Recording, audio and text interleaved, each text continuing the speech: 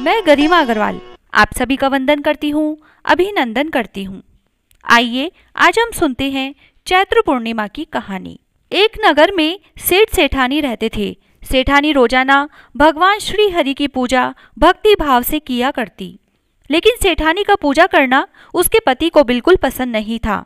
इस कारण एक दिन सेठ ने उसे घर से निकाल दिया।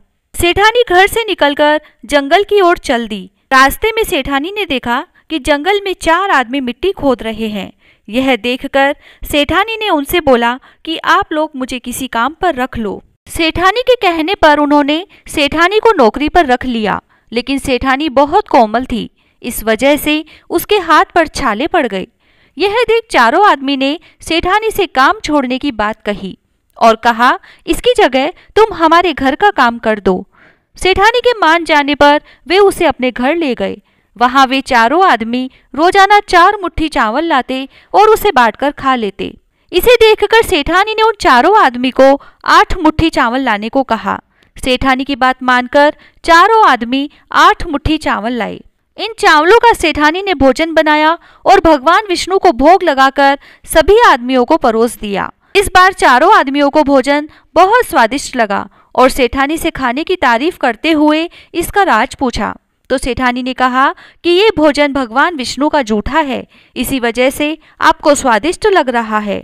उधर सेठानी के जाने के बाद से सेठ भूखा रहने लगा। आसपास के लोग उसे ताने मारने लगे कि ये पत्नी की वजह से ही खाना खा रहा था। लोगों की बातें सुनकर सेठ सेठानी को जंगल में ढूँढने निकल गया। चलते चलते रास्ते में उसे वही चारों आदमी मिट्टी खोदते हुए दिखाई दिए। सेठ ने उनसे कहा कि तुम मुझे काम पर रख लो। तब चारों आदमी ने उसे भी काम पर रख लिया। लेकिन सेठानी की तरह मिट्टी खोदने से सेठ के हाथों में भी छाले पड़ गए। यह देखकर उन्होंने सेठ को भी घर का काम करने की सलाह दी। सेठ भी उनकी बात मानकर उनके घर चल दिया। घर पहुँचने के बाद सेठानी ने सेठ को पहचान लिया। लेकिन सेठानी घूंघट में थी, इस कारण सेठ उसे पहचान नहीं पाया।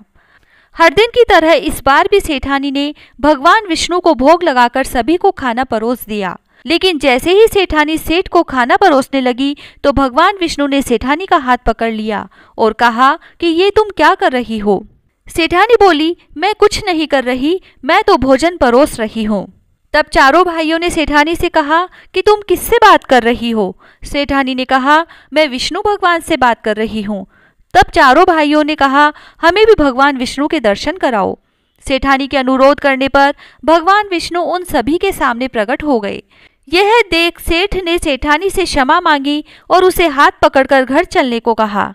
तब चारों भाइयों ने बहन को बहुत सारा धन देकर विदा किया। तब से सेठ भी भगवान विष्णु का भक्त बन गया और पूरी श्रद्धा से उनकी पूजा करने लगा। इससे उसके घर में फिर से धन की बरसात होने लगी। ऐसी मान्यता है कि चैत्र पूर्णिमा का व्रत रखकर यह कथा सुनने से सत्यनारायण भगवान के साथ हनुमान जी, प्रभु श्री राम और माता सीता की कृपा भी प्राप्त होती है। जय श्री राधे।